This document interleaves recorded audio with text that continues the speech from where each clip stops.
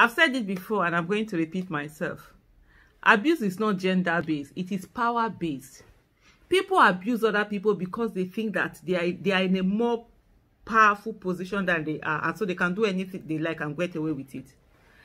I've seen over the over the years, I've seen Remi Tinubu's arrogance. And I just wonder where it's coming from.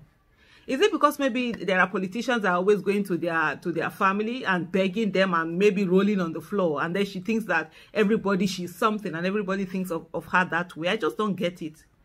You know, these people, because they, they, they, they bow down to, to power and they do all sorts of things. The other day we saw where Remi Tinubu was practically sidelined by Pantami. She just stood there like one like one ghetto like house girl that the president you know they made him to pass her now i i remember saying on that day that how can a minister you allow yourself to be sidelined in that way when the president was there you were supposed to greet all of you and today she's here calling somebody talk and you know threatening to drive people out of the uh the, the public hearing not her house oh. In her house she can afford to do that. But in public hearing and this is not the first time her, her arrogance has been coming through and I, I just wonder what's fueling it.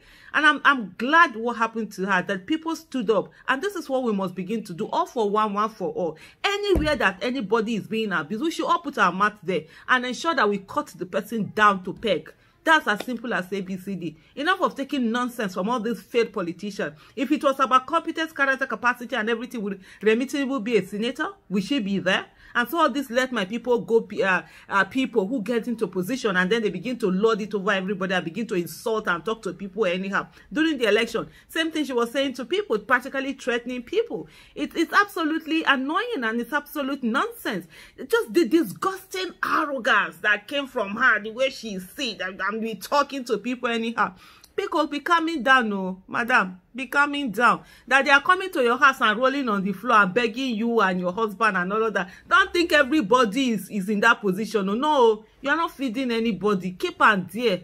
Start behaving and start being respectful to the people that you're serving. If you're not ready to be respectful, get out of office. Who the heck cares about you? If you were not there heading the this, who, who will even see you on the road and even look at you or anything? Now those people, they look for something and then they call your place and then we go they do all those yama yama talk to. Maybe they behave yourself. Oh, madam, just they calm down. Understand? Well, since she even got into office, can somebody tell me what Remi Tinubu has done as a senator? What what what has she contributed to the nation? What has she contributed to women issue lagos issue whatever it is? Can maybe i'm ignorant and i don't i really would love somebody to educate because every time i just see her and i see the and i think of the person she actually replaced at the scene i, I weep for lagos state.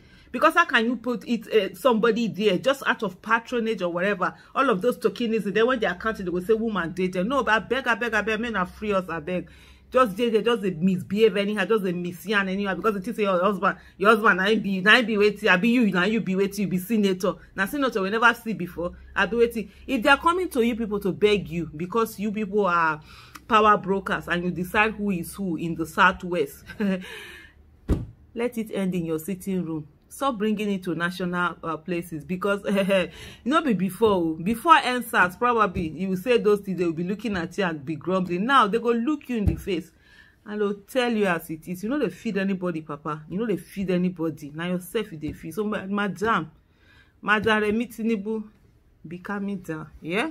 Be calming down. Nobody nobody be your mate. They calm down they do your own thing let us be doing our own thing. Don't come and start being disrespectful to people. If you if you have your arrogance then don't serve. If you were inside your house nobody that woman will not come and say she would knock on your door. Now for what? Why would she knock on your door? She wouldn't. You understand? So that arrogance eh be putting it in your handbag and leaving it in your house. When you go back remove it from the handbag and take it or when you're leaving when you're going out drop am for house